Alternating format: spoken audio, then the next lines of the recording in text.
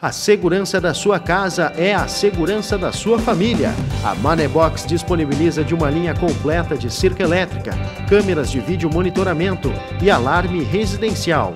Visite nossa loja na Avenida Assis Brasil, número 820 e deixe a sua casa mais segura.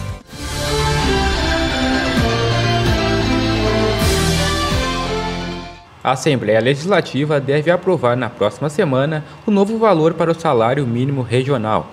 O índice de aumento proposto é de 6,48%. O projeto de lei já havia sido enviado ao Legislativo no início do mês de fevereiro, mas não havia sido analisado pelos deputados. Caso seja aprovado, o mínimo regional ficará entre R$ 1.275 e R$ 1.489, incluindo as cinco faixas salariais.